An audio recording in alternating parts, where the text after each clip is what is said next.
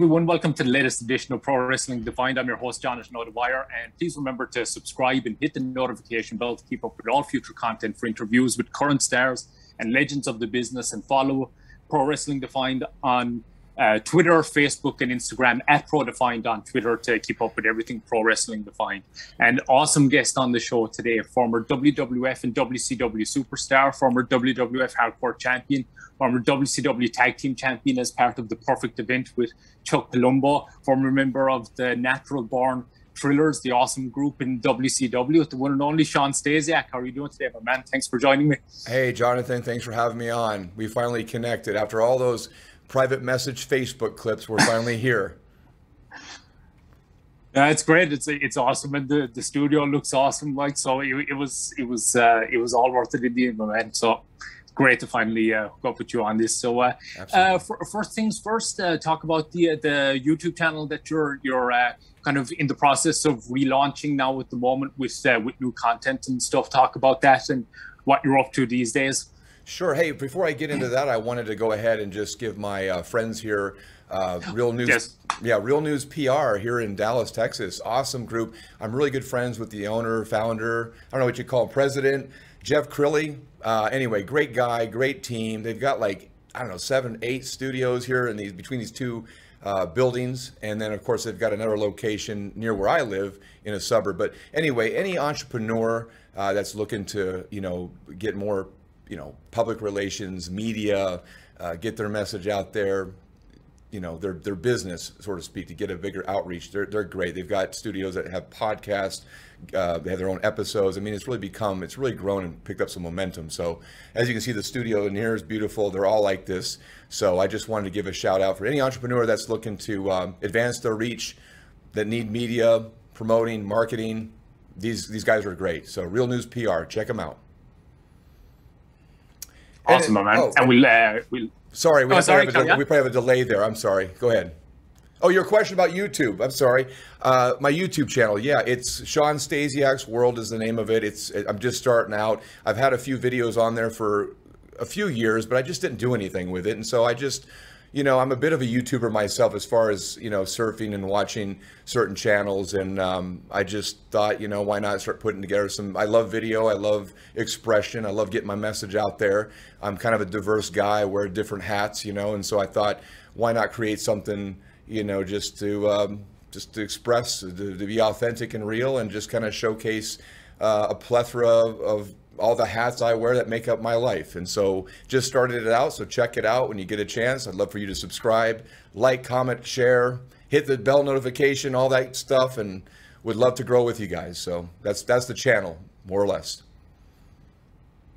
Awesome, my man. Everybody check that out, and I'll include the the links in the description of uh, of this and all the the social media posting as well for for Shawn's channel. But uh, so um, where I wanted to start off before before we get like uh, chronological on mm. things was um, like just recently um, it was the 20th anniversary of the the World Trade Center attacks and um, like WWE Network did an amazing uh, documentary about the whole process of uh, doing that SmackDown uh, taping uh, around that time. Talk about your memories of that uh, of that week, um, where you were uh, when you found out about the the World Trade Center attack and uh, the, the SmackDown taping? Like, what was that? Like, that whole thing must have been so different from anything yeah. you would ever experienced before. Talk about that whole experience. Boy, I started getting goosebumps and kind of almost tearing up in a way just now thinking about that because I saw that on uh, Peacock on on the WWE Network. I don't know if it's still called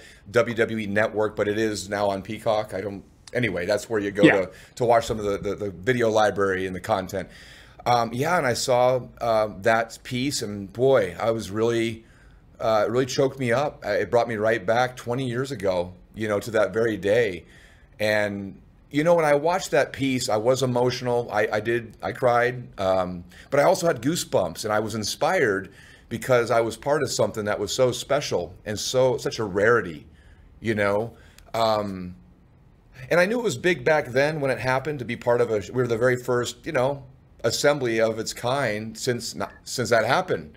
So I yeah. just remember the emotion was it was a mixture of emotions. I mean, you were scared because you were so uncertain and unsure what God, nothing like this has ever happened, at least in my lifetime. Never experienced anything like, like that, you know. And seeing those two big towers, and that, that's like the symbols of America, you know, the just symbolically. And, and every time I went to New York, I loved, I stare, I was always fascinated with big buildings and skyscrapers, and you know, uh, just the fact that the planes had ran into those buildings and they end up coming down was just like good. I mean, it was just devastating. I mean, as you know. Um, and I remember I, I, woke up that morning. Uh, we were in Houston because we had just finished. And just like any of you fans that have watched, I recommend checking that piece out. It's like a 30 minute mini documentary, like Jonathan was saying. Uh, we had just finished Raw in San Antonio, and I remember uh, I was driving or traveling with Chuck Palumbo at the time, who was my tag team partner in WCW. We had not been working together in WWE much at that point. I think we were doing different things. I was working with The Rock. I was like the wildy coyote of the WWE at the time, you know, kind of the jackass uh, com- comical relief of the show at the time. Um, but uh, but we traveled together, and I believe Lillian Garcia was with us too at that time. I'm not, I don't remember exactly, but anyway, we we got to Houston. We checked in our hotel you know, did the usual room service, went to bed, woke up the next morning, and I remember flipping on the tube and seeing CNN or whatever world headline news was taking place and seeing the first, you know, the aftermath of the first plane going in the building and just, you know, just like everybody else, basically, not knowing what was going on. And then we knew when the second plane hit, we knew that it was a, a terrorist attack. And I remember um, I went downstairs to the workout facility because it's usually what I would do is get up in the morning, have my cup of coffee, go down to the uh, the fitness center in the hotel, get a little cardio in. Usually when I was on the road, and I walked in there, and, and actually Vince McMahon was in there, and I just I remember looking at Vince and him sitting on the ground up against the wall with a towel around his neck, soaking wet, full of sweat. He's a maniac, you know, till this till this very day still you know, I don't think he's even human, but um, you know, I just remember looking at Vince and saying, I don't remember word for word, but it was just, uh, can you believe this? Like, what, what's going on? You know? And he's like, and I remember him just sitting there, and if I could do a Vince McMahon impersonate, he just sat there and just went, "Those bastards." That's all I remember him saying. Those bastards, you know. and so, uh, but it was just, um, yeah, it was just, it was really, it was a really uncertain, scary time, you know, for everybody. And then we were just told to kind of hang out in Houston uh, because everything was shut down. The airports were shut down, and uh, of course we were in Houston. I lived in Tampa at the time, and so we just stuck around for a couple days, and then they just gave us the announcement that hey, we're going to run a show. You don't have to be on it, but we're going to go ahead. We're going to move on with our lives. We're going to, you know, and and so there's some mixed emotions about it. Should we have ran a show? You know, it's one of those things where some would disagree, and some were, you know what, let's screw that. Let's go ahead and get people's minds off of the news and this this horror that happened, and let's let let's you know let's let's represent our country with freedom and expression, and and, and put some smiles on some faces and get people's mind off this for a couple hours. And so, you know, and I was, you know, I got goosebumps just now. I remember, you know, and I raised my hand. I'm in. Let's go. Let's do it. And I remember when we were all out there standing at the very beginning of the show uh, we had our little American flag. I still have that somewhere, my American flag that they gave me. It's in storage somewhere.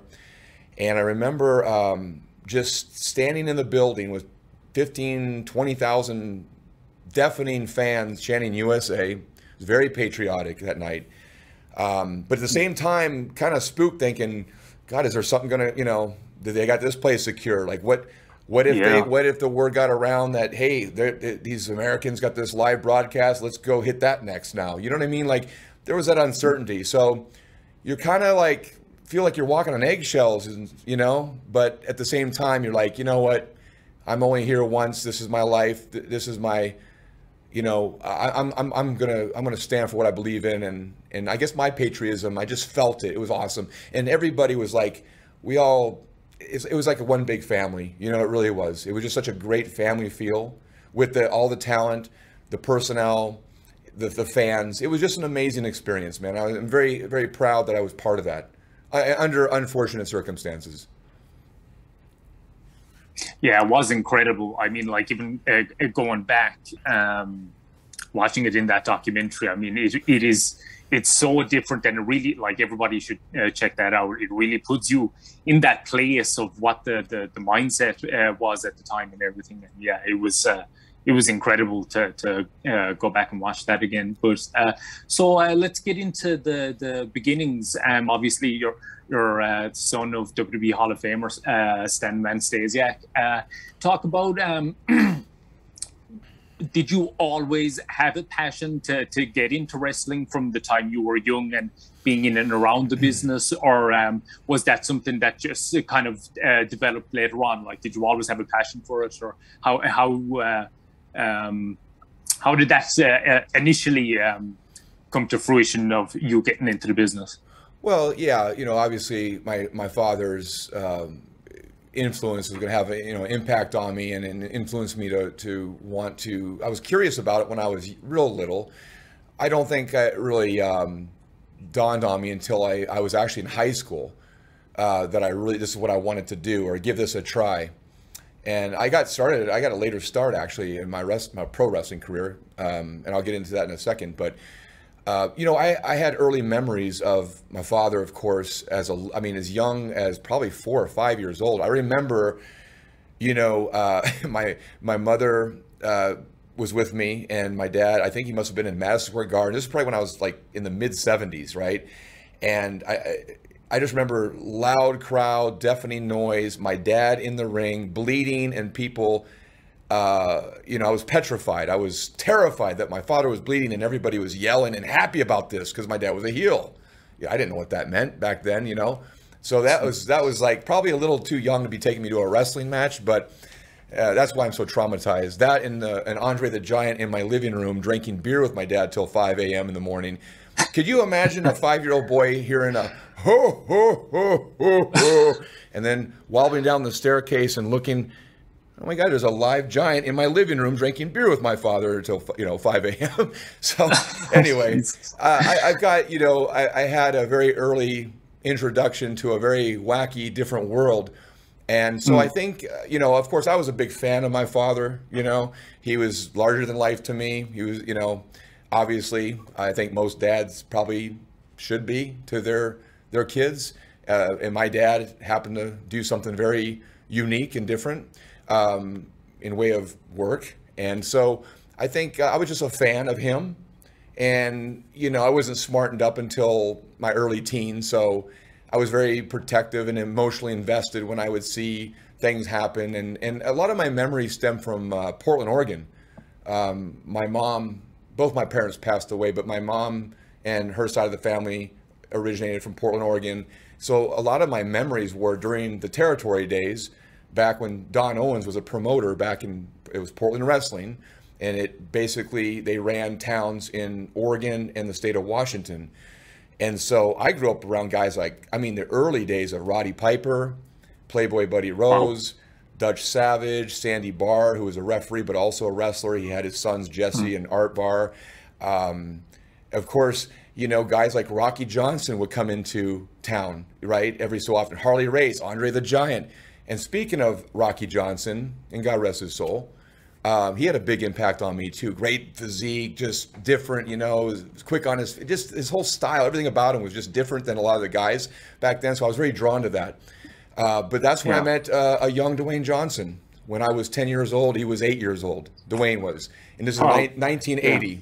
And they used to put us in a in the crow's nest. It was called in Portland, where they did they had the cameras and the commentating table and the cameras would shoot out to the ring that was out a ways. And um, i hope I'm not getting off topic here. You asked me one question, I'm giving you 20 oh, responses. All but, good, man. All good. but any, but anyway, um, I remember. Uh, so they would they would have the wrestlers' family members sit in this designated area away from you know the general fans and crazy people, right? The fans. Yeah um, to keep us somewhat safe, especially if your dad was a bad guy, you know, because back then, man, you know, the cat wasn't completely out of the bag then. It, people really, oh, yeah. you know, there's a lot of realism to that, you know. Uh, people believed it was, you know, it, it, was some real heat at times, and, you know, especially with the heels. And I remember uh, the kids, when the matches were over, all the kids would run in the ring and play in the, the ring like a, a playground. And Dwayne and I were in there rolling around and, and, and, he headbutted me. And I thought that was the coolest thing. And I got in the car. My dad goes, what's wrong? What's that, that goose egg on your head? I said, oh, that's, that's Dewey, daddy. That's, uh, he gave me a headbutt. We were working on wrestling moves. he, and he was concerned, but I, I thought that was the funniest thing. Of course, later, fast forward in, in years later, I was in the WWE and I was out with Dwayne a couple times having dinner. And we would tell the story to others like, yeah, I, I, I kind of grew up, you know, across pass with this guy. You know, I, I used to beat him up in, in Portland when we were little kids. And of course, he would tell the opposite story, you know, that he beat me up. So, yeah, that was uh, a lot of influence on me from my father and just being around, especially the Portland territory. We had moved here to Texas, Dallas. Uh, a couple different times, of course. It was a hotbed for professional wrestling. The Von Erichs.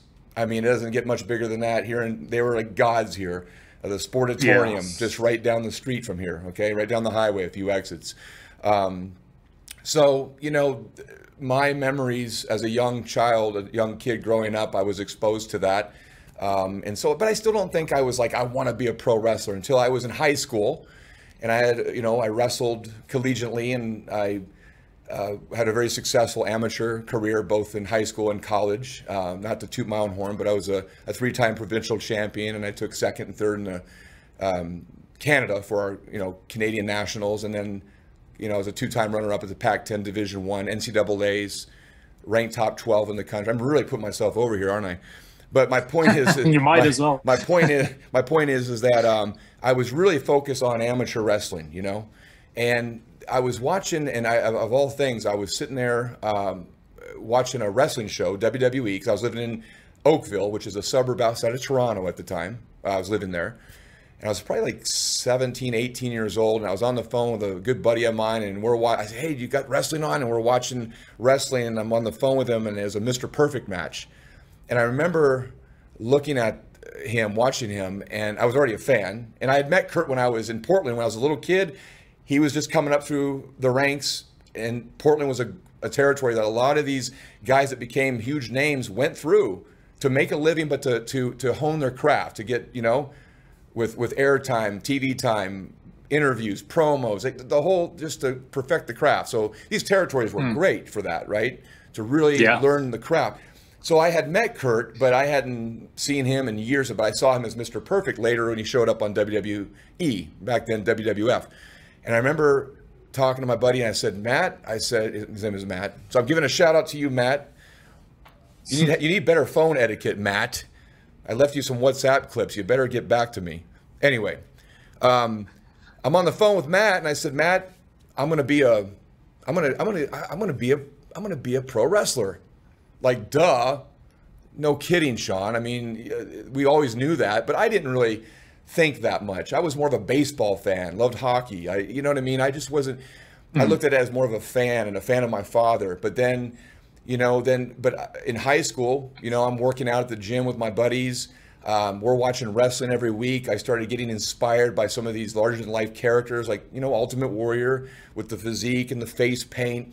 Um, you know, Sting, of course, later, the Road Warriors. I love the theatrics and Rick Rude and even, you know, Piper and all these, all these names, all these, you know, Hogan even, all, just inspired by these guys. And, but it was a Mr. Perfect match that I, I, I saw those white boots, that singlet, you know, the long uh, flowing blonde hair, you know, spitting the gum out, the towel thing, that whole gimmick with Bobby Heenan. And I said, I'm going to be a pro wrestler. And I thought it was so bizarre and ironic that fast forward years later in WCW, I would face off against one of my child or really teenage idols, man.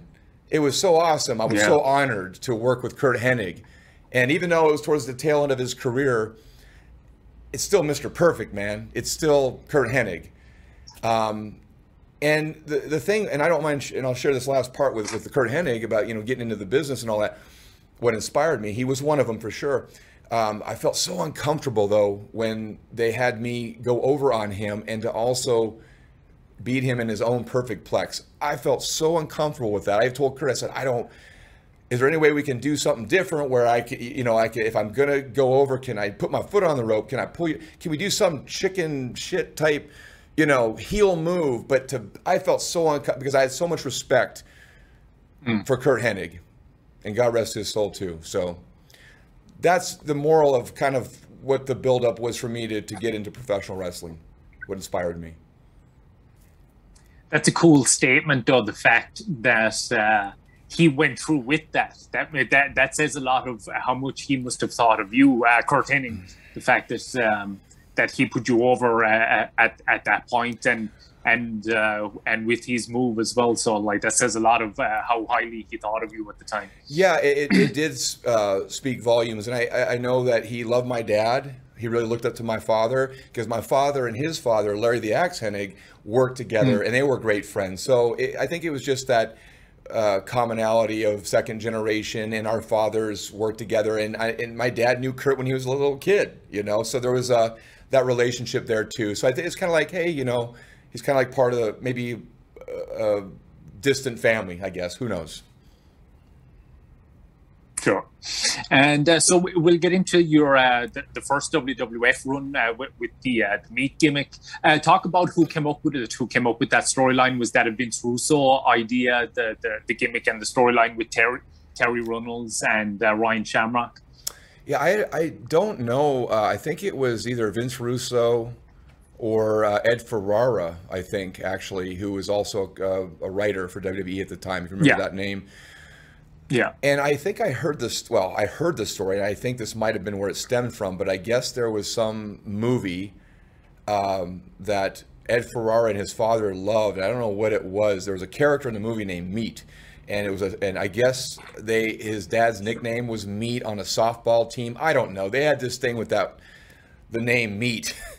and they thought that, and they and somehow they, they they were coming up with one word gimmick names at the time, you know, the Attitude Era, and so hmm. yeah, I'll be honest with you. When I first um, was pitched that, I wasn't overly pleased. Um, I had anticipated my uh, majority of my, uh, or at least a big part of my life, anticipating becoming a pro wrestler and taking after my father and carrying the Stasiak legacy name. Uh, and all that all that hard training and work and working out in the gym and the amateur wrestling and you know practicing my craft in front of cameras and um, you know just anticipation to to train to be here finally. And here's your gimmick name. It's meat. Uh, you know I, I, I, explain this to people as you know it's kind of like uh, an actor. You got to look at it like that. At least i did at the time. You know what? It's a role. Go ahead and pick it up, play it, play it the best to your knowledge. It's not going to be your only role that you'll play, your only character you'll portray, like in a film, for instance, or a TV show. Just play the character the best you can. Get your start, get your feet wet. It, you know, and I had some veterans, they understood that I was a little disappointed with the whole idea because I really wanted to be what I perceived my professional wrestling career and what I anticipated was going to be much more. I mean, I know it's entertainment and it's good to make people laugh and put smiles on faces, but I wanted to be taken more seriously. Uh, and, you know, I wanted to be the very first father son duo to ever win the WWE Championship. And by the way, that's never been done to this very day. That's still a piece of history that's still out there. Um, wow. But um, yeah, I just took it and played and ran with it, and it didn't last, what, eight, nine months, and then it was over anyway. So there you go and we'll get into a few more bits about uh, about the the meat character uh, during the, the, fan questions later on. But uh, we get into the uh, to the WCW run. Uh, is is that why you ended up going to WCW? Was it just kind of disappointment over the meat character, or uh, how did the WCW deal come about? Well, Jonathan, this story has followed me around my entire career, and for a while there, it used to bother me, but I just finally embraced it and realized that my name and my career and my transition from my first reign in WWE into WCW was because of an incident that took place called the tape recorder incident. And I'm sure you might have heard of this, but I'll go ahead and share a quick Reader's Digest of the story. It's basically a rib gone bad. It's you've heard the term, and not to sound cliche, you know, wrong place, wrong time. That's exactly what it was. I wasn't working for hard copy. I wasn't working for another wrestling company. You know, Mike Enos, one of the Beverly Brothers, told me years ago. He said professional wrestlers are like junior high school students with money. You know, um, there's a lot of a lot of a lot of juvenile stuff that can take place in in that business, and it's all part of the the culture, I guess, right?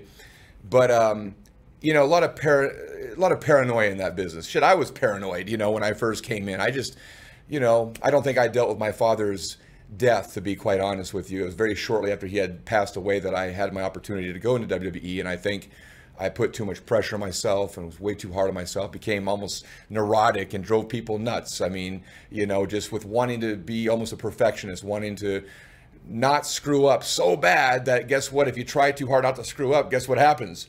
You screw up right? So hmm. I tell people now, I say, have fun, man. Be respectful, pay your dues, but have fun. Go because it doesn't last very long. You know, life is short, especially a, a, wrestling career.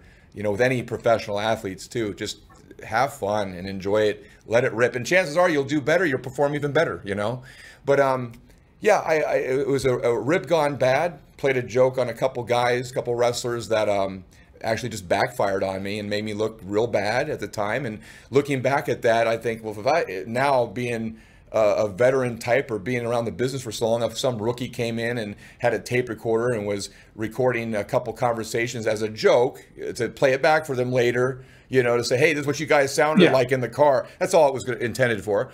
But and that person lied and said, oh no, no, no, and, and put the tape recorder away, and then you go and hear your voice, your conversation it makes that person look really bad. And, and I could see why there would be a trust issue. And that's what happened, man. It was just a really unfortunate thing that um, no wrongful intent whatsoever. I think most people that know me, that know the story, and and by the way, that's an amazing story. It's funny how a story gets out and it gets so uh, fabricated and so exaggerated. Mm. I've heard like 20 different versions of the tape recorder incident that I was so paranoid, right, Jonathan? I was so paranoid that I was I had a tape recorder to just see who was talking about me, who was talking behind my back. you know, let me get a tape recorder. Come on, man. I had the tape yeah. recorder. My dad got me my first tape recorder, and I was, you know, here you go, Shawn. Here, player. You know, I used to do impersonations, imitations as a little kid. I love documenting things, like I said with the YouTube channel. Love. I was the guy in high school that always had the video camera. I was always, you know, recording things, and and also too. And I'll give this advice to any young talent out there that's trying to develop their craft. And it was told Tom Prichard, Dory Funk Jr., who trained me, said, "Hey, you're on the road for many hours. You're you're spending a lot of time on the road." perfect your craft get a tape recorder cut promos, work on your interviews, listen to it back, you know, critique it. That's why I had it in the first place. If I was working for a hard copy or if I was uh, trying to pull something on somebody in a, in a malicious way, why the heck would I take leave my tape recorder in a gym bag with a bunch of wrestlers? And you know what I mean? Come on, man. I would have I would have yeah. like sealed it up and FedExed it back home or to whoever I was working with, right? so-called whoever yeah. I was working with. So yeah, but you know, it got me fired, man, and it, it caused me a lot of grief. That that was a really, um, that was a really really tough time. One of the hardest times of my life because I anticipated um, a lot of my life to to have this opportunity and then to get fired and to lose my dream job because of something so honest to God was so innocent but it looked so bad at the time. Again, wrong place, wrong time, just the way it looked. Um, boy, that was it, man. And and so I was concerned because I, you know, the only other viable company at the time was WCW, and you know, now I think Vince Russo had been was already over there with Ed Ferrara, and those guys. Uh, we had a good relationship, I thought, or at least a decent relationship but I, I was concerned because you know it's a small world you know and people talk and the boys talk and and, hmm. and the word got out that you know Stasiak's recording people we can't trust them you know you know what I mean and I was like would I get an opportunity yeah. to go over to the other company and um, be part of that and so I think with Russo and I, I think he must have had a word with Paul Orndorff. I keep saying God rest their soul. There's so many guys we've lost, so many brothers, yeah. you know. God and he this was, year alone even has been bad. Pardon? Oh, this year alone. Uh, this yeah. year alone, yeah. even we've lost so many. I know.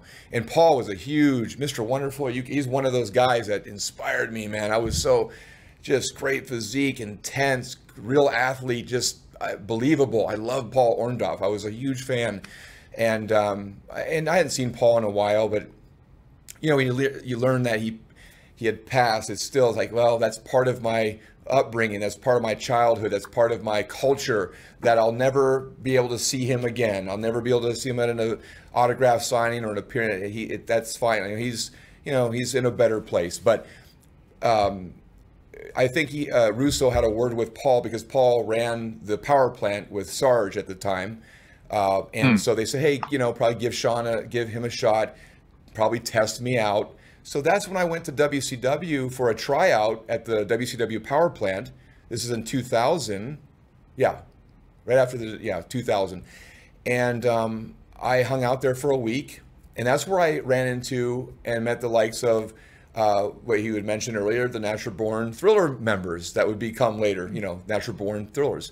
Chuck Palumbo, Sean O'Haire, Mark Jindrak, Mike Sanders, uh, Reno, um, Johnny the Bull, and, and, Kiwi, you know, and all these guys, man. I was, you know, I knew I had the goods. I had, uh, you know, enough. Ta- I was still green. I was still very new in the business at the time. But I was concerned, were they going to accept me? Because that was the bigger question. How am I going to be perceived? How am I going to be, am I going to be rejected because of what, you know, but I, they, we had some time to spend together. We went out to lunch, we work out together. And I think they heard the story. They, they believed my story, which is the truth. And I think they just said, that just sucks. That's too bad, man. And, and I think they just accepted me. They kind of uh, accepted me into their group and um, had my, went down there a couple times and uh, finally got got the phone call from Paul or Kevin Sullivan or someone and just said, "Hey, welcome, welcome to the team. Welcome, welcome to your new home." You know, and um, I even told Paul. I remember sitting there with Paul and Kevin Sullivan. I said, "I said, guys, I want to be the next Mr. Wonderful in honor of you, Paul. You know, I know there can never be another Paul, or there can never be another any of anybody, but I hmm. it was out of just respect and honor of Paul Orndorff and just you know being so influenced by by him. Um, I wanted to to you know I wanted to have that opportunity to be able to showcase and have that style and that that that effect on people. So yeah, that's how my WCW um, career started. Really, the the embryonic stages of how that all developed, the transition from the tape recorder incident, getting fired into getting you know tryouts with WCW, and then finally getting called up to the main roster for WCW, and then they put me with uh, had that feud with uh, Mr. Perfect, um, and then they put Chuck and I together to work with uh, Bryan Clark and Brian Adams, Chronic, and yeah. that was fun. I had a lot of fun, and you know Bryan Clark and I have reconnected recently, and uh, he's a great guy, man. It's funny. Um, it's like a brotherhood, you know. We pretty much talk every day. We clipping each other back and forth, and he's working out. Tw- I got him doing two a days, and you know, um, yeah, he's still he's still at it, man, and you know, and um, he's a very creative guy. You know, I I learned a lot about him I didn't know back then. I just worked with him, you know, a few times and always got along backstage. I think that if you know, if if we could go back in time or we were in the same situation, I definitely would be traveling. You know, with with Bryan Clark and if Brian Adams is still here with us, God rest his soul you know, Brian was a great guy too. I didn't know him real well, but he was always very kind, very nice to me. Um, and um, I, I, liked working with those guys. We we had a lot of fun. Yeah, you had an awesome run together. I absolutely love. Um, I love the team name that you and Chuck had. Perfect event. Yeah. I, I just thought that was awesome, and uh, like and the and the natural born thrillers. But uh, your matches with Chronic were were awesome. I mean, like people should go back and watch uh, Bash at the Beach 2000, yourself and Chuck against uh, Brian Adams and Bryan Clark Chronic. Absolutely awesome match. Yeah, one of my favorite tag team matches from uh, from WCW. That's where uh, uh, where Chronic won the, the tag titles back uh, from me. It was absolutely awesome. But uh, talk about um, what Chuck was like to, to team with, and then uh, the the transition into the um, natural born thrillers group because uh, they were like you were one of the the uh, the hottest acts in in WCW in 2000. It was something really new and fresh, like and kind of cutting edge to it. Like that, I, I I was watching. I started watching WCW in kind of summer of '99, but missed say December to like April or May so like I was really into it just as all of that was kind of beginning the whole New Blood storyline, right. you and Chuck, and then the Natural Born Thrillers. So talk about the the Natural Born Thrillers and and teaming with Chuck and winning the the tag titles together. Well, teaming with Chuck was I loved it. It was great, man. Um, you know, I was so happy at that time because I, what I had just gone through with that whole WWE, such a letdown, such a such a nightmare, man. Like, look, I've lost my mom, I've lost my father.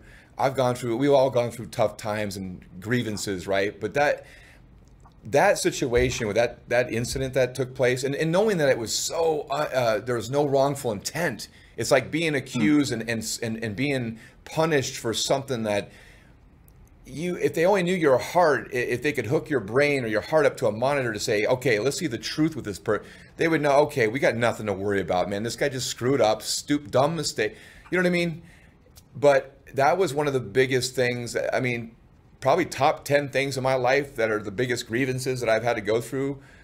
That's one of them, man. That was that caused me a lot of despair. That was a tough, tough um, period for me, and um, I was just so happy and so grateful that uh, WCW gave me an opportunity, and I was welcomed into that group, you know, and in the locker room too. I got to tell you a little side quick story though, and, and remind oh, me to get yeah, back sure. on track. I got it because I'll forget it so Brian Knobbs, we're in the locker room, right?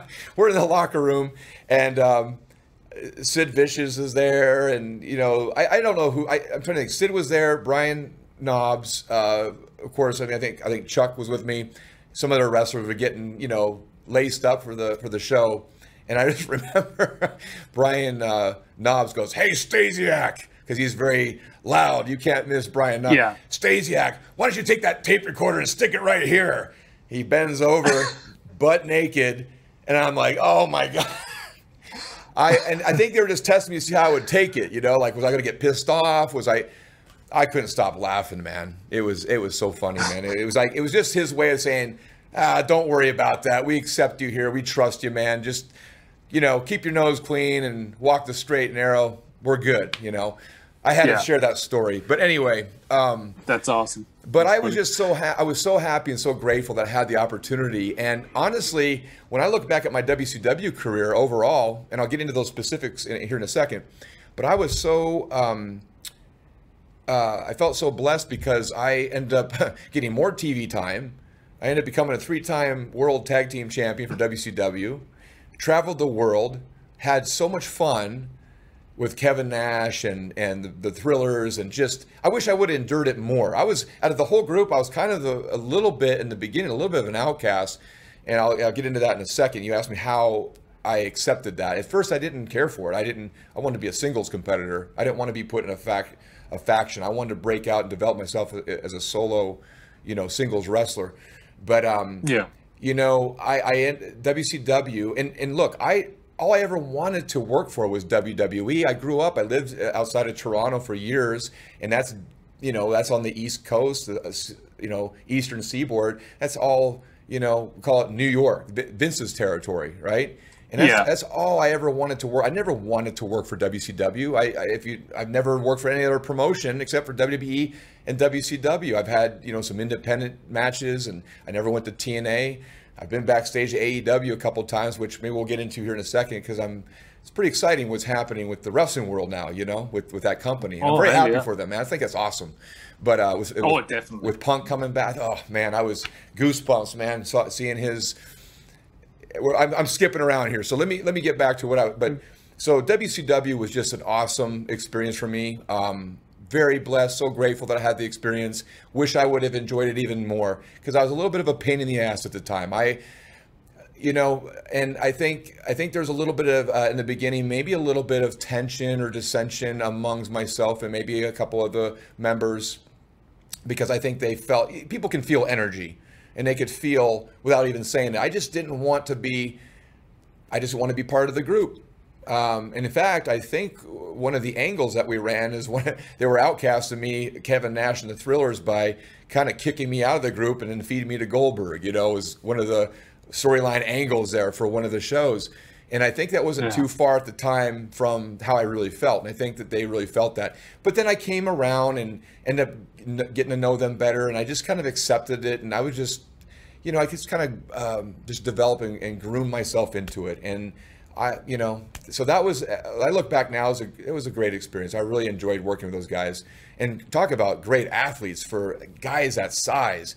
I was the least athletic of all these guys, uh, as far as like maybe in the gymnastics uh, aspect of things. I mean, Sean O'Haire, 6'6", 280, doing backflips and spin kicks. I mean, you know, and I I'll watch some of these older um, this older footage, and I and I and I see, I didn't. I think I was so focused on. It's a very self-centered, selfish business. You got to focus on yourself, your brand, your character. I mean, you're just immersed in what can I do to elevate myself to that next level, right? And Absolutely. I go back and look at this footage and go, oh my God, Sean O'Haire was he had a great look.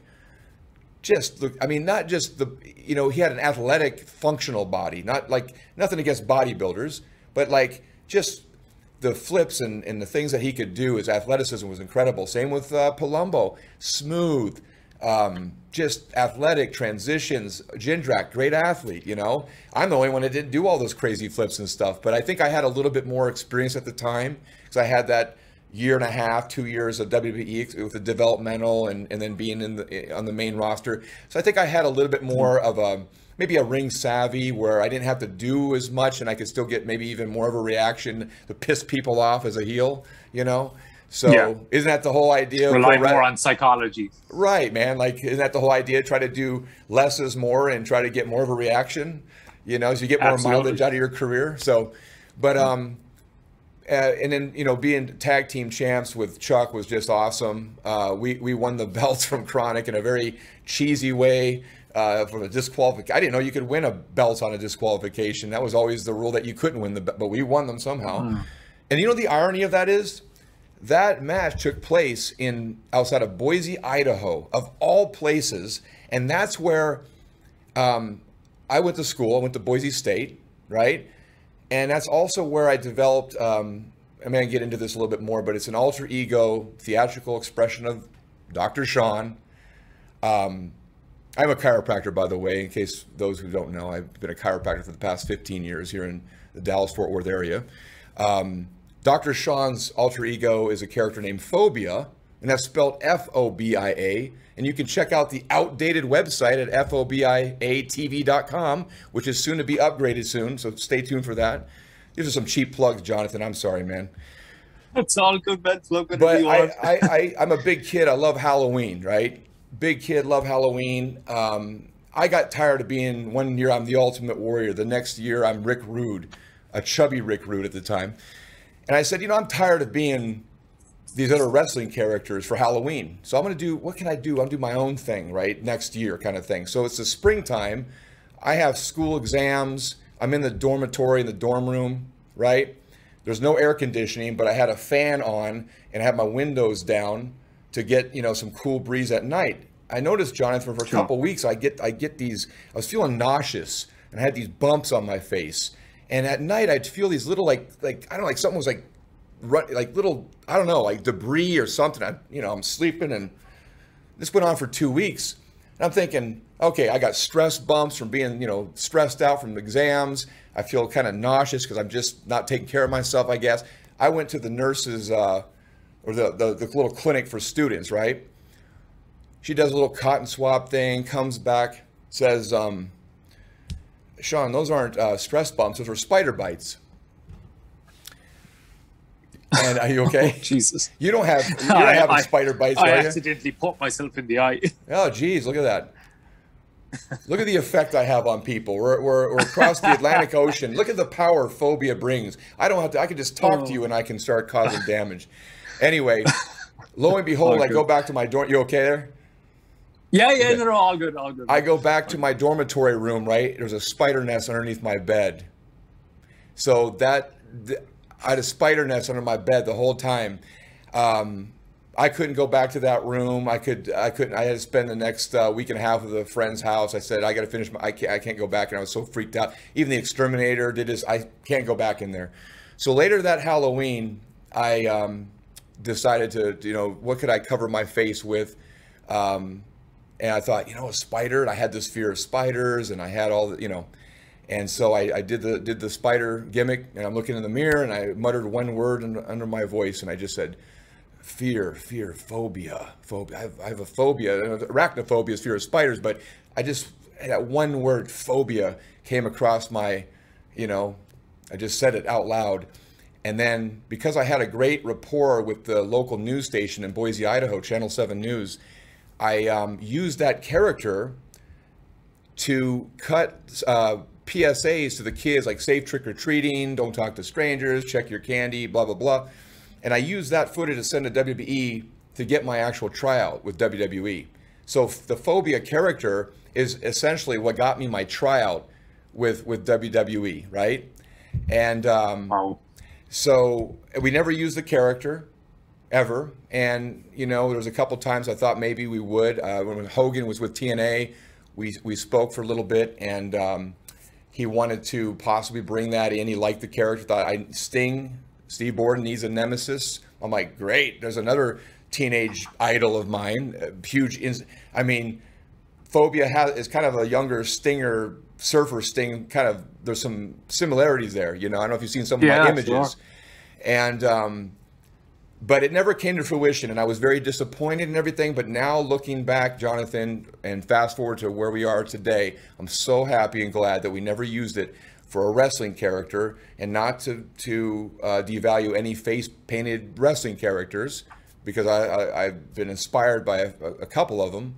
Um, it just would have been another cheesy face painted wrestling character. So now I have an opportunity, and which I've been doing and working on, uh, doing various things with, to take it to more of the, I guess, I don't know, comic book world, um, I, uh, cinema, you know, some different film projects and things that I'm going to be working on. So um, it's got a bigger message than that too. And the character stands for, you know, it's fear, but the message is, you know, face your fear and own your life.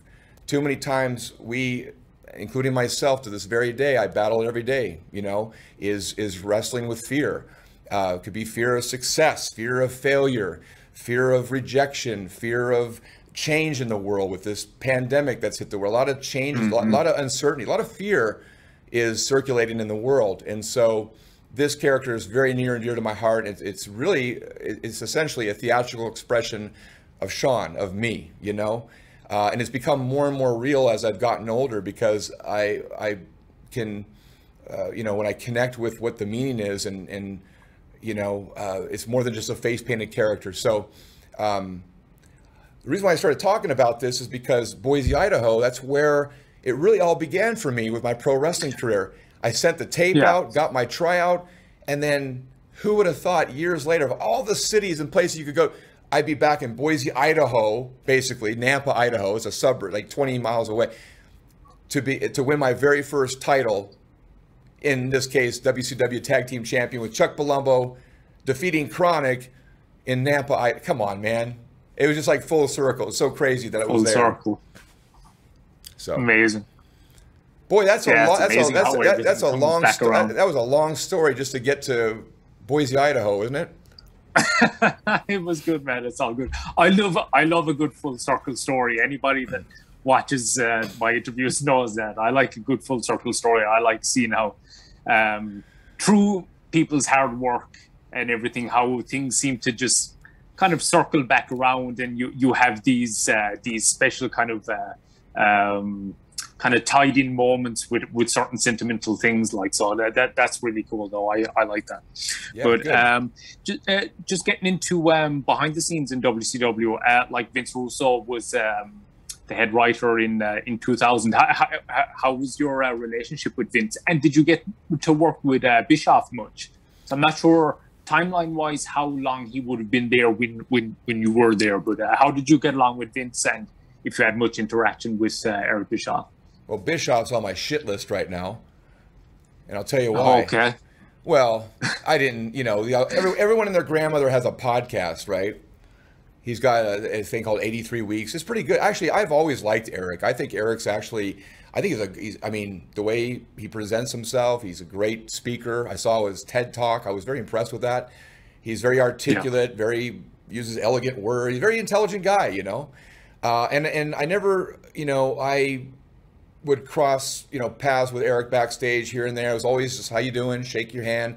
I think I went came to him for a couple, you know, get his insight on a couple things. Hey, could you watch my match? Let me know what you you know what you think of this promo, whatever. And that's where I'm going with this. Speaking of promos, apparently, um, well, you know, here's the thing. I, I, I look back at my work, you know, and I cringe most of the time. I'm like, God, I wish I had an opportunity to go back and redeem myself on that. That sucked, you know. And the thing I was doing with Stacy Keibler and the Bam Bam Bigelow angle. Yeah. You know, it was kind of cheesy with the hairspray. It was such vanity and stupid. I mean, if I ever, if, if I ever um, were to grace the ring or the wrestling world again, you can rest assured I would never. I, am not a poser. I'm not a narcissist. Uh, although my friends will call me that because I play this narcissist character. I'm always posing at them and doing stupid things, you know, just for their their their amusement. But um, uh, basically, you just get an extension, a real reflection of me, Shawn, and that's just a guy. Um, I'd say I've always said this, you know, a, a guy that's full of piss and vinegar, world class athlete, um, looking to kick some ass and create history with his father. That was the longest camp, you know, for the longest time, the campaign that I was pushing for um, to, to make history in the WWE, becoming the first father son duo to ever win that title. Um, hmm. But I realize that some of the, you know, some of my work I cringe to. It's cheesy, but I guess Bischoff, I guess I'm a lousy talker on the mic. I guess I, uh, you know, and it just came across in a way that was very, um, I don't know, a little, a little bit arrogant, you know. And I was surprised, like, man, I thought we were you know there's there's different ways and choices of words you can use maybe to say okay i wasn't too crazy about this or that but i was just like okay you're going to judge me and base me on one one promo one night of promos you know are we not not allowed to have an off night? You know shit happens. So anyway yeah. but as far as eric i never had a great um, or uh, sorry i never had a, a deep relationship with him. And same with vince really. I mean it was just uh, maybe a little bit more than Eric because you know he was writing the show at the time that I was there, and so we would go over certain things. But usually the agents is really what you know I would we would work things out with the match and whatnot coming from Vince. And if there was any question or specifics, I would just go to Vince. But I always felt comfortable around Russo. Um, I did his podcast, of, you know, I think three or four years ago. We had an interview, and um, I've never had a problem with him. He's very him and Bischoff. They're very polarizing people, aren't they? they seem to be. Yeah. Yeah. Same with sure. same with same with Jim Cornette too. I mean, I think that's just the nature. I think that's just the nature of the business. You know, I mean, you just got these polarizing people. But um, yeah, just to answer your question, um, you know, always I always liked Eric. I never got to know him real well, but um, didn't have a you know real didn't work together with him much at the time. Because I think that when they brought uh, the new blood in, you know, and they had that um, what was it the the veterans versus the, the new blood. Yeah, the uh, the Millionaires uh, Club, I think, was yeah, the, I think the, the, the veterans group, wasn't it? Yeah, it was the Millionaires Club. It was like dissension going on backstage, and I don't. I think Eric left, and I, I don't even remember. It's so vague to me, but you know, that's pretty much my my relationship with those two guys. And uh, so uh, we fast forward on to the um, to the final Nitro. Uh, what what are your memories of, of that night? The, the the hostile takeover, so to speak, like of WWE coming into uh, to camp, and uh, like you worked with Bam Bam that night, went uh, went over on it. But uh, what what are your memories of kind of even the lead up to that, like hearing this that Vince had uh, that had bought the company and uh, the the whole lead up to the whole buyout happening. Well, I had heard, you know, the rumors about the company is going to be bought out by WWE, and honestly, Jonathan, I personally, I felt that my work had progressed. I felt that since they gave me the opportunity to kind of be a solo, rather, of course, they stuck me with Stacy Keibler, but you know, I thought I was comfortable with her. I thought it was a compliment to the character and the the cheesiness of the character at the time. You know. Um, and I, I just felt I felt and you know I was in shape. I felt like I fine tuned myself physically. I felt that my promos were um, you know improving. I mean it's it's just like it takes time with just like with any craft, man. You got to work at it for a while to get better and better. And I just think with repetition, um, I just felt that I was getting more comfortable and finding myself a little bit more as a singles wrestler. Um, hmm. and and so I, I think that if that company would have stayed around, I mean I, I had heard rumor um, that the next elevation for me was to between, and I don't know how true this really is, but this is what I had heard. I think it was from Johnny Laurinaitis at the time because he was an agent back then too. Um, yeah. I'm not quite sure what his position is now with WWE. I know he's back there, but um, you know, he said it's going to be between you, Booker T, and Jeff Jarrett. Um, kind of like three of you, kind of going battling for the U.S. title or something. It was a, it was an elevation, you know. And I was like, great, man, that's awesome, you know, because I had great yeah. matches with Booker T. I, I worked with Jeff one time. It was those guys were both smooth because they're such good veterans. And uh, but Booker, man, I had great. I just felt I had great chemistry with him. I really enjoy working with him. Um, I think I think he's a great talent, and he's a funny guy too. He's he's I can never keep a straight face around him. But um, yeah, that was um, you know I felt confident, even though what had happened happened about a little over a year prior with that tape recorder incident. I just felt, I just had this faith, Jonathan. I just felt, hey man, you know, you've you've honed your craft better. You know, you've kind of had a proving grounds. Um, you were accepted by this company. I mean, I just didn't have, I didn't have, um, I wasn't overly worried or concerned that I wouldn't be accepted back. And I, I was was one of the, the first ten contracts to be bought back over. At the time, it wasn't the big contracts like guys that were holding out, like the Stings and I think Lugers and Scott Steiners and guys that had the bigger contract, which made sense. They had guaranteed money, and I don't know the details, but if they would have gone over, they might have broken it, and it was just made more sense for those guys on a financial business sense to stay away for a while, you know, rest up and maybe come over later. So for me, they just, just bought it right over and I was, you know, I have mixed emotions about that. And I mean, I was grateful at the time, but I don't, I, and I don't want to sound like I'm bitching and complaining, but I don't, I think it's pretty obvious that I don't think WB really had plans for me to really go to that next level. Um, the best they seemed to have for me was to rub shoulders with The Rock and be the jackass clown running the milk trucks and walls, even though it was an honor to work with Dwayne and it was funny at the time. And, you know, it's about putting smiles on faces. But, you know, I look back now, I, they fed me to guys like Brock Lesnar. You know, it was just these squash matches, more or less. So I think I was almost looked upon uh, as kind of like the cost of doing business. You have business expenses and write-offs. I felt that Shawn Stasiak and his contract was a write-off because we're going to feed this guy to build other people. And I just seemed to never be able to get momentum going. I, the Planet Stasiak idea was cheesy and stupid. It was not, my idea was really based uh, more from the actor Jim Carrey in The Riddler and Batman, his mannerisms and demeanor and traits. It was supposed to be more like that. Um, it, it, a force to reckon with. He might be a little out there and he's a little crazy, but he's very, he needs to be taken seriously. You know, very charismatic, very colorful, uh, right? I, I, even had these visions of, of my entrance with this character, and it would have ran into some animation and kids with the that put these like like Jeff Jarrett used to have this with those glasses that would blink, those little shades that would blink with lights. I had this vision, and you know, in the arena that the lights would go out when Planet Stasiak's making his flight in a spaceship from Planet Stasiak to wherever that city, that town was, and then it would be displayed on the screen, and it's here, Dallas, Texas, and boom, and uh, it's really cool theatrical.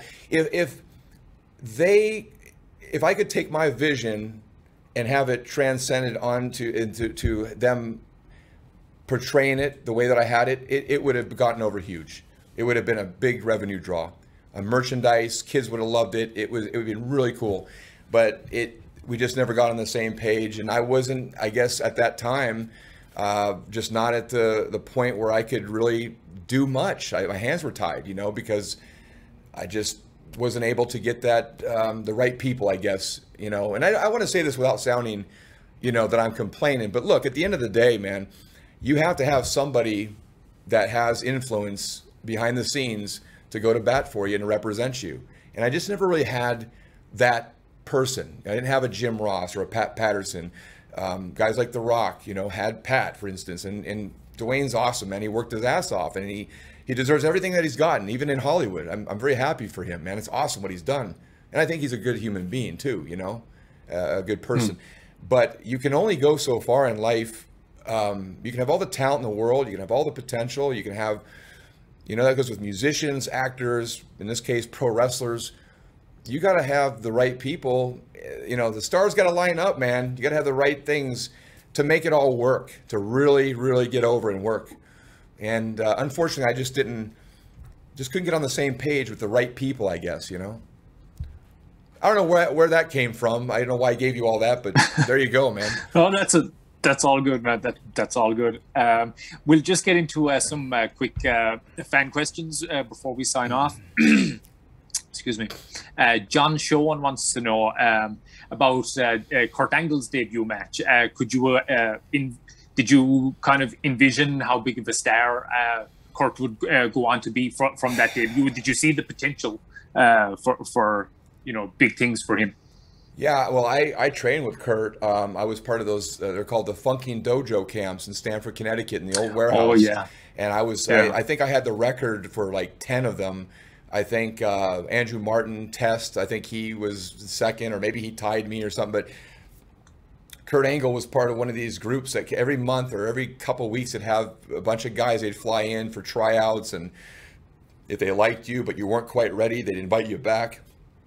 I lived there. They just took me in, and my developmental deal was right there in Stamford. So I basically was right there with Tom Prichard every day. And um, but yeah, Kurt came in, and I was an amateur wrestler, of course, and I looked up to Kurt for what he had done by winning the world championships and becoming the Olympic gold medalist, right in '96. So I was like a mark for amateur wrestling. I was like, man, anything he needs, man, to train, I'm there. You know. So we ended up traveling together, Kurt and I. Um, we were on the road for a while. He was doing dark matches while I broke in as meat, you know, my rookie year.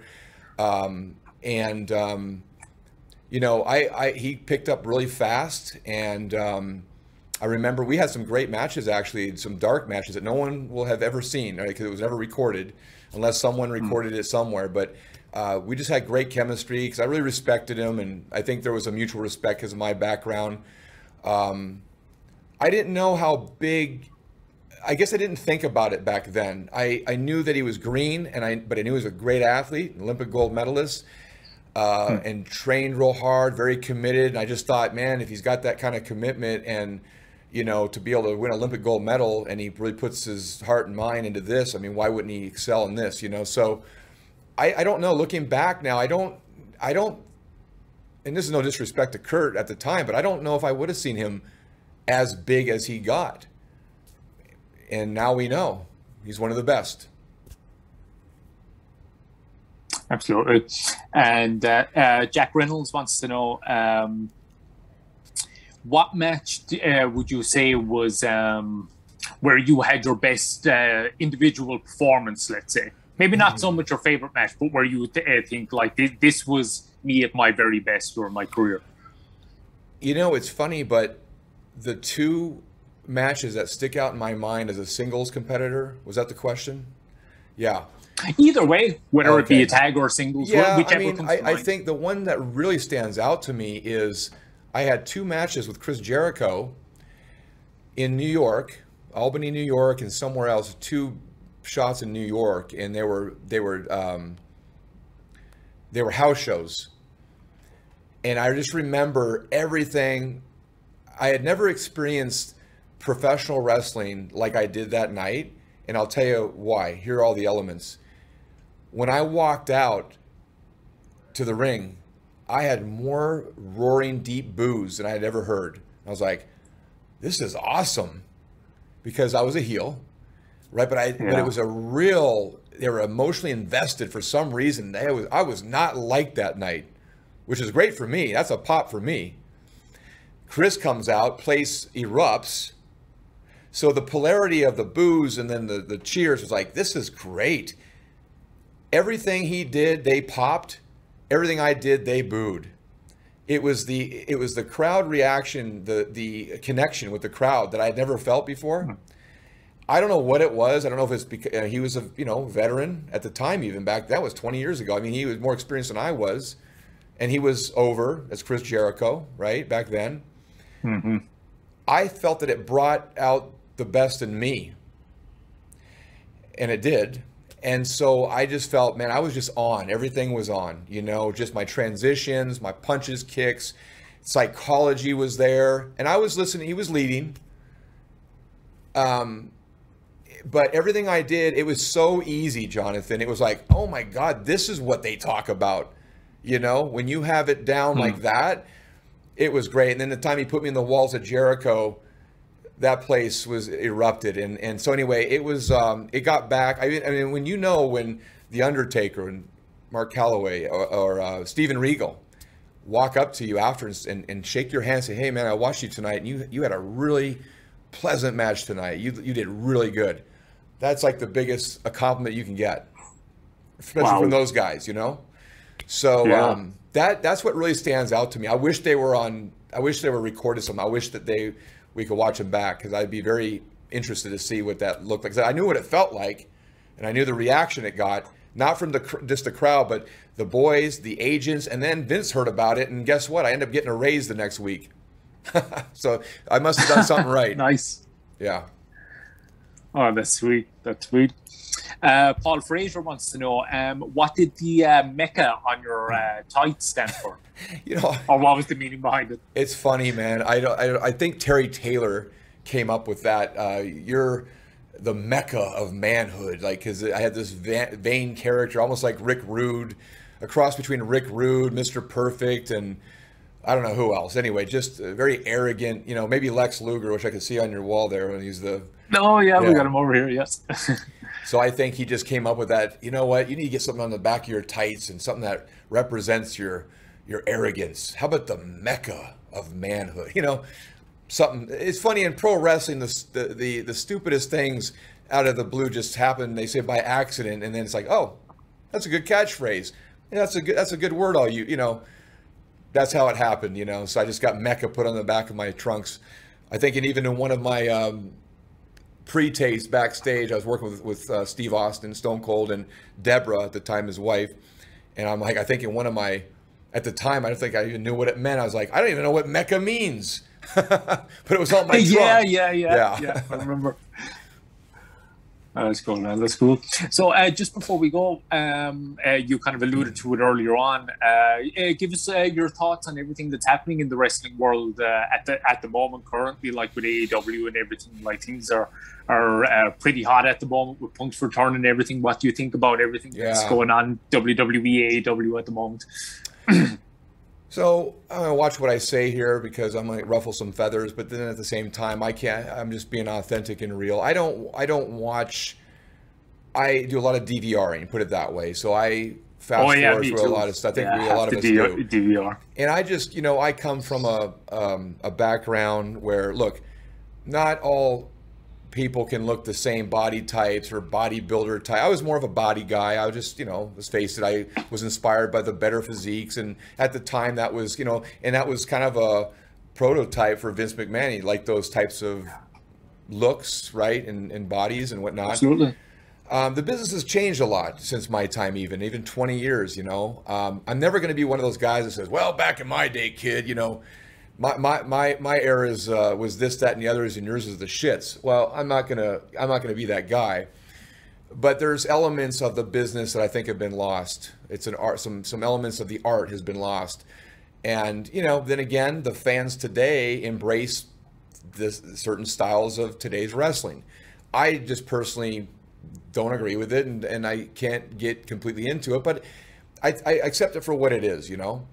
Um, hmm so and, it's not being disrespect. I don't mean to sound disrespectful to anybody, but I just come from a certain cloth, and I just I'm proud of it, man. And I'll and it's just, you know, I know that if I, let's say hypothetically, was back in the wrestling realm, I know what how I'm going to portray myself and how what, how I'm going to represent myself, and I have a lot of pride in that, man. You know, just uh, yeah. just from growing up around the business, my dad's era, my era, and even being away for as long as I have, you know, you learn about yourself as a man. You learn yourself about uh, learn about yourself, you know, in the world. Learn about the world. Um, you know, I'm not the same guy as I was 20 years ago, and I've often thought, you know, it'd be really interesting to showcase this inner character that I didn't realize it existed all this time that I could exude on camera. I can tell you right now, I think it would be great for ratings because it would piss a lot of people off. And I think a lot of people, though, of my era and generation uh, fan base that we lost might come back. Anyway, I love comebacks. I love redemption stories.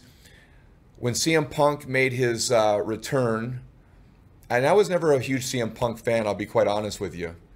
But I did follow him a little bit when he went after his UFC dream, which I give him mm. all the credit in the world. He had balls to do it.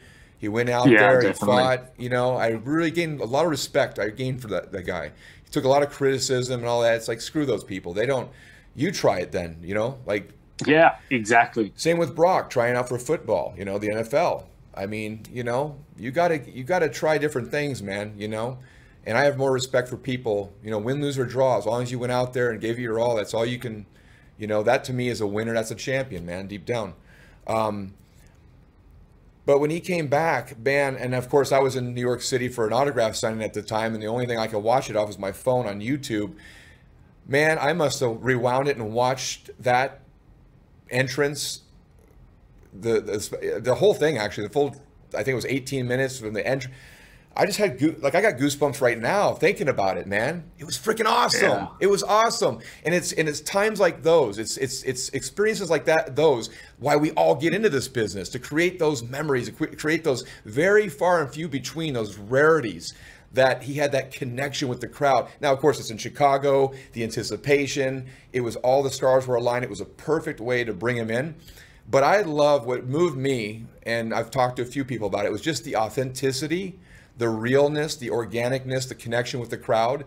I mean, I you know, people were crying. It was just a really amazing experience. And I don't want to over dramatize this, but that's what you know that term art imitates life you know and that was one of those moments where art which is pro wrestling taken parallels of a shoot reality parallels and incorporating those into a work environment that's professional wrestling, man, and that's what I yeah. think. Uh, that's what I'm drawn to. That's why I'm fast forwarding my DVR.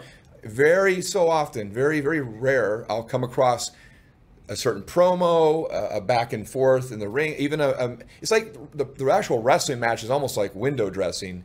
It's almost like who gives a shit about how many flips and moves and whatever you do if people aren't emotionally invested. That's the whole point of pro wrestling is to get people emotionally invested.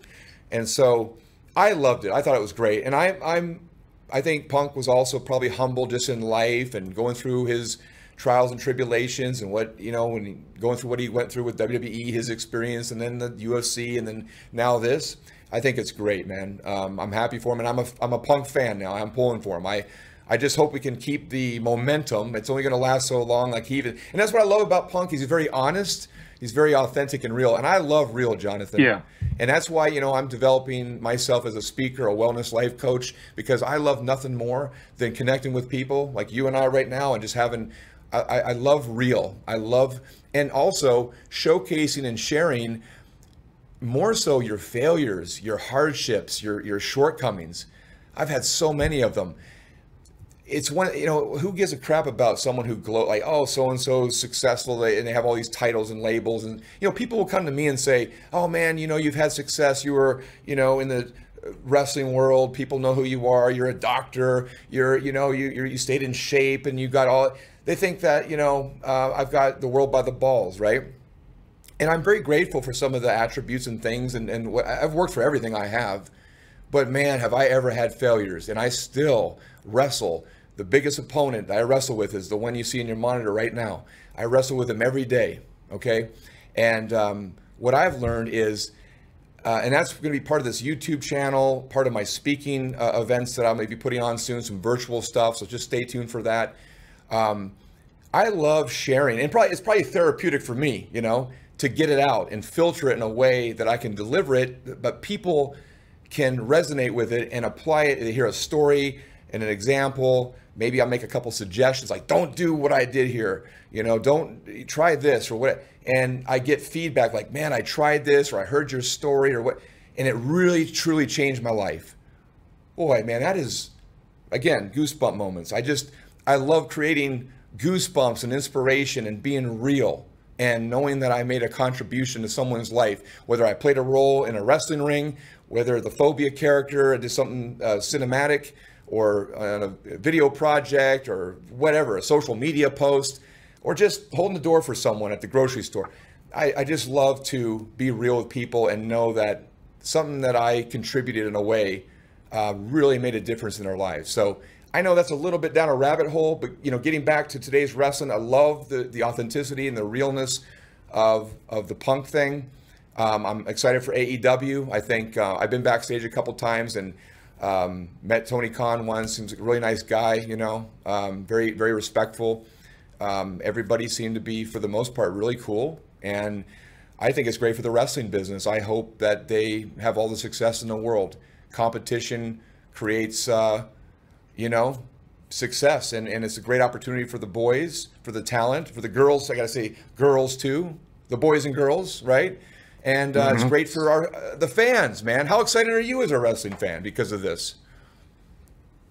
I like it. I mean, like I'm kind of in the same, in a similar mindset uh, as yourself. There are some things in both companies in the wrestling business in general now that uh, it's got it's in terms of the in-ring style anyway the um the lack of realism at times bothers me it just goes too it just goes too a little too far out there in terms of spots and j- yeah. just not making quite the effort of you know getting me as a fan to suspend my disbelief like but there are still some really really great talents that that are like so like there is still enough moments to kind of keep me hooked in. But like yourself now, I do DVR.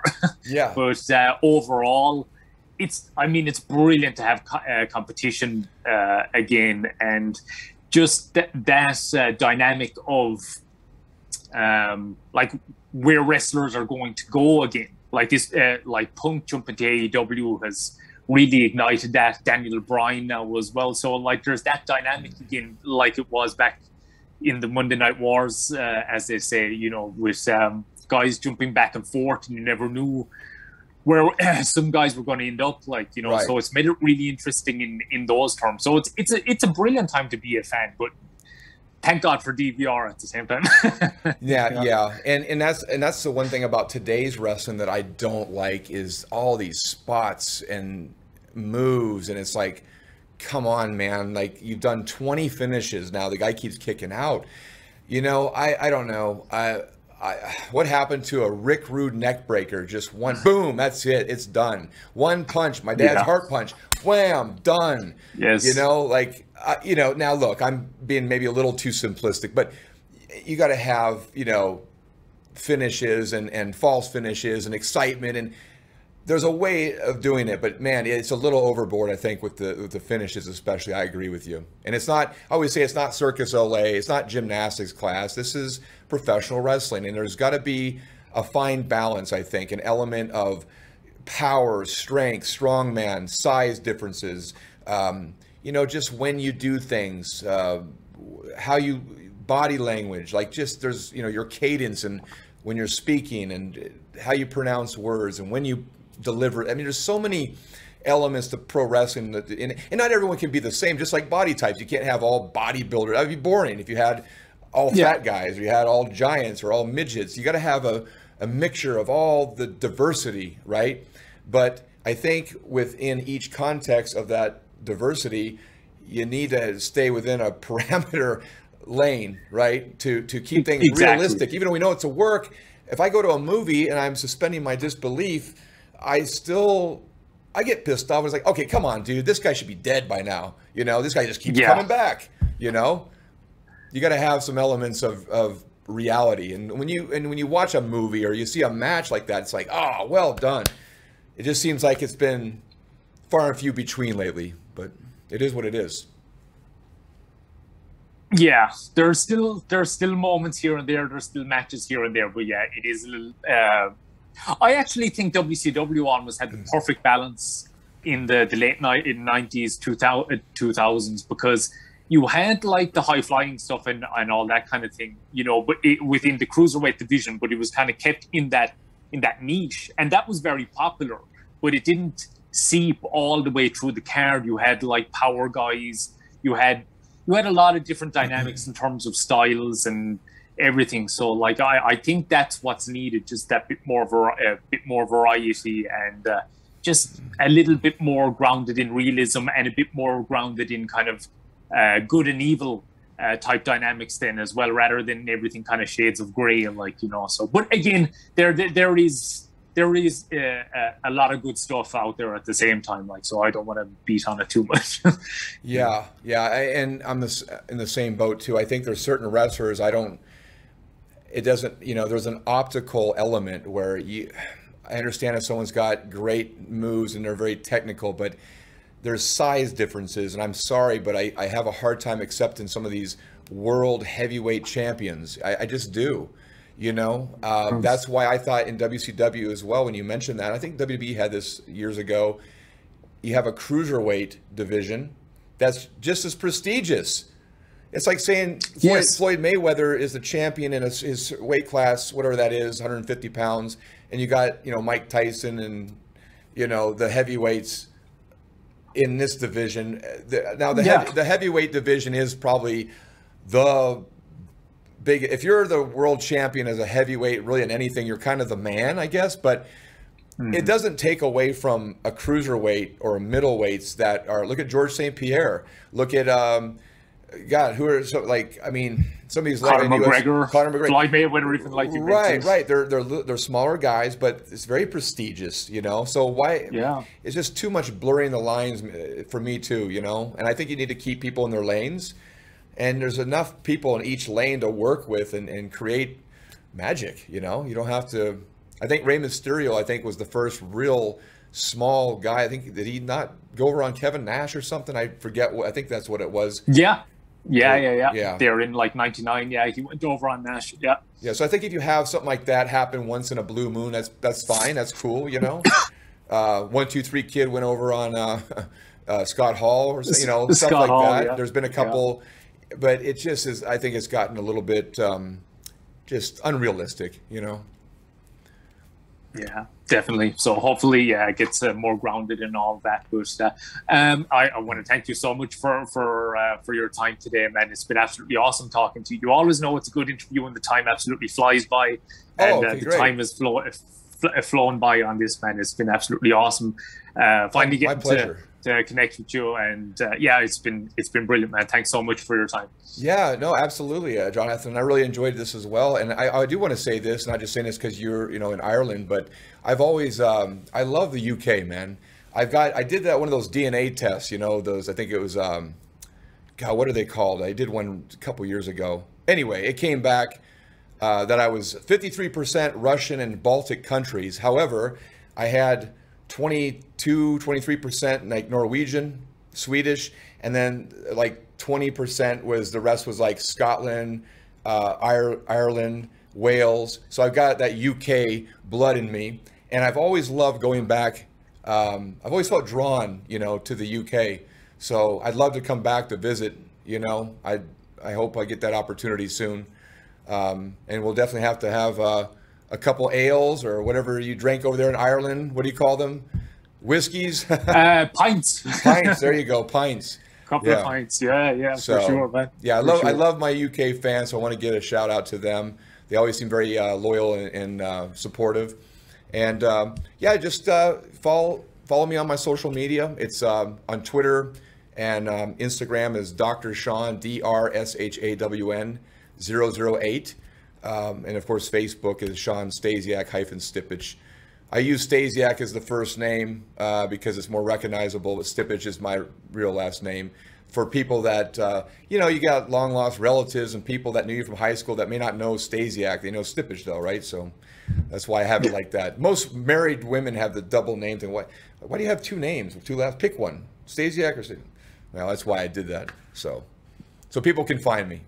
And then the YouTube channel is uh, Shawn Stasiak's world. So check it out. Awesome, man. Can't wait to see everything that you uh, have coming up. And uh, yeah, thanks again, man. It's been awesome. Yes, Jonathan. Thanks for having me. God bless, brother. Take care. Take care, my man. Bye bye.